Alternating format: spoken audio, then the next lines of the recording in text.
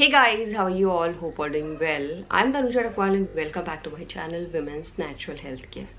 So so guys देखिए ovulation के बाद अगर बच्चा सक्सेसफुली यूट्रन लाइन में इम्प्लांट हो गया तो उसके बाद से महिलाओं की बॉडी में एक नया हार्मोन जिसे हम प्रेगनेंसी हार्मोन भी कहते हैं जिसका नेम है S C G S C G hormone pregnant women में डे बाई डे बढ़ना शुरू हो जाता है और हर 72 टू आवर्स में यानी हर बहत्तर घंटे में जो एस सी जी लेवल की वैल्यू है वो डबल हो जाती है। और एच सी जी गाइज़ वही हार्मोन होता है, जब आप पीरियड मिस होने के एक हफ़्ते के बाद यूरिन प्रेगनेंसी टेस्ट करते हैं तो उसमें एच सी जी हार्मोन ही डिटेक्ट होता है, जिसके थ्रू फीमेल्स जान पाते हैं कि उन्हें प्रेगनेंसी कंसीव हो गई है। तो एस सी जी हार्मोन जब राइज होना शुरू होता है तो सबसे पहले महिलाओं की यूरिन में चेंजेस दिखना शुरू हो जाते हैं, और ये चेंजेस की इंटेंसिटी आप देखेंगे धीरे धीरे बढ़ रही है। जिसकी वजह से आपके लिए ये जानना थोड़ा आसान हो जाता है कि इस महीने आपको प्रेगनेंसी कंसीव हुई है या नहीं हुई है। तो यूरिन में जो सबसे पहला चेंज आपको दिखाई दे सकता है, वो है फ्रीक्वेंट यूरिनेशन जब महिलाएँ प्रेग्नेंट होती हैं तो अर्ली फ़ेज़ से ही महिलाओं को बार बार यूरिन पास करने की शिकायत होने लगती है, या बार बार यूरिन करने का मन करता है यूरिन पास करने की अर्ज़ होती है। जब यूरिन जाती हैं तो हल्की सी यूरिन आती है, ऐसा खुल के यूरिन नहीं आती है, और कई बार आती भी है तो इस तरीके की फीलिंग आपको हो सकती है जब आप प्रेग्नेंट हो।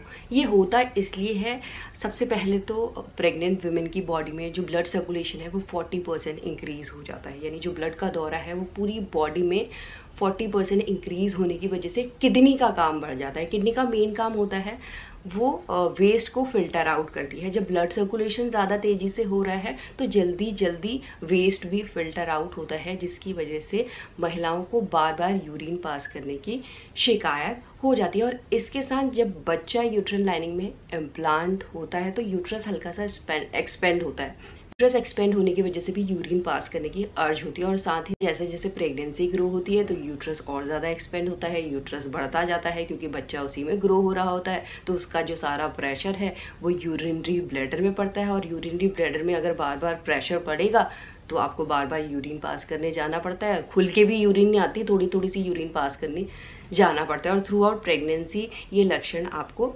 दिखाई दे सकते हैं। इसके साथ आपको यूरिन के कलर में भी चेंज दिखाई देगा। देखिए नॉर्मली जो यूरिन निकलती है, या तो वो येलो निकलती है, या तो ट्रांसपेरेंट येलो निकलती है। ट्रांसपेरेंट जब निकलती है, जब अपनी डाइट में आप लिक्विड ज़्यादा कर लेते हैं। अदरवाइज़ येलो निकलती है। बट प्रेग्नेंट होने में आप देखेंगे, या तो आपकी डार्क येल्लो निकल रही है, या ब्राइटर येल्लो निकल रही है। जो यूरिन का कलर है, वो डार्क तो हो ही रहा है, साथ में गाढ़ा भी हो रहा है। ये इसलिए होता है क्योंकि जो पहला ट्राइमेस्टर होता है, इस टाइम पे फीमेल्स की बॉडी बहुत ज़्यादा काम कर रही होती है। इस टाइम पे फीमेल की बॉडी को जो नॉर्मल वाटर की क्वांटिटी होती है, उससे ज़्यादा बॉडी को रिक्वायरमेंट होती है। कई बार महिलाओं की बॉडी में डिहाइड्रेशन की वजह से भी यूरिन गाढ़ी निकलना शुरू हो जाती है और इसके साथ साथ आप देखेंगे आपको यूरिन में से स्मेल आना शुरू हो गया है। देखिए, जब आप बहुत टाइम तक यूरिन पास नहीं करते हैं, नॉर्मली तभी आपको यूरिन में स्मेल आती है, अदरवाइज़ नहीं आती है। बट प्रेग्नेंट वेमेन को ऑल दी टाइम हमेशा यूरिन में से अजीब सी अमोनिया की या वजाइना की जो स्मेल होती है, ऐसी स्मेल आना शुरू हो जाती है। उसके पीछे का कारण ये है, क्योंकि प्रेग्नेंट होने में जो स्मेल सेंसिटिविटी है, वो बहुत ज़्यादा हो जाती है, जिसकी वजह से जो छोटी छोटी खुशबुएँ हैं या स्मेल है, वो ज़्यादा फील होना शुरू हो जाए साथ आप यूरिन में नोटिस कर सकते हैं। यूरिन में आपको हल्के हल्के से झाग दिखाई दे रहे हैं फोम दिखाई दे रहे हैं, छोटे छोटे से बबल्स दिखाई देना शुरू हो जाते हैं। तो इसके पीछे का पहला कारण ये है प्रेग्नेंट होने में जो यूरिन होती है वो थोड़ी गाढ़ी हो जाती है डिहाइड्रेशन की वजह से। और दूसरा ये है कि प्रेग्नेंट होने में यूरिन में प्रोटीन की मात्रा ज़्यादा होने की वजह से महिलाओं में ये चेंज दिखना शुरू हो जाता है।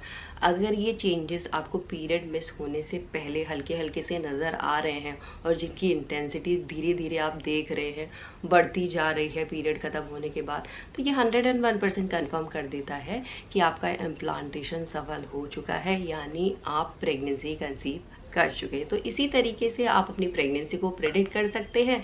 एंड यही है आज का वीडियो होप करती हूँ ये वीडियो आप लोगों को अच्छा लगा होगा। And thanks for watching this video will see you soon my next video till then